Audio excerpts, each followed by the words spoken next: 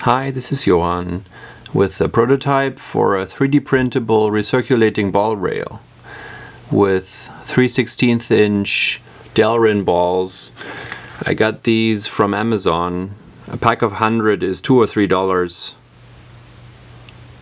And I have a single 3D printed part here that holds the recirculating balls and you pop them in like this to load it it's held in place by this bar in the front. And the bar goes into the slot on the OpenBeam. And then it moves like this.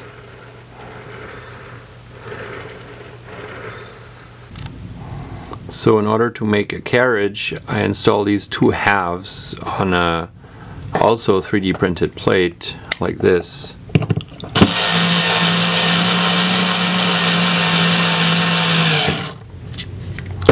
And then it goes on the OpenBeam like so.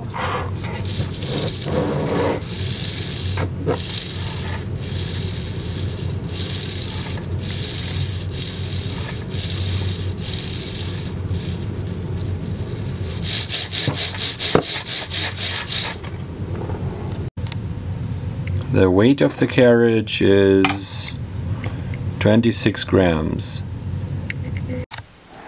It works about the same on OpenBeam or Misumi 1515 extrusion and it's very smooth. It's just sliding back down using its own weight.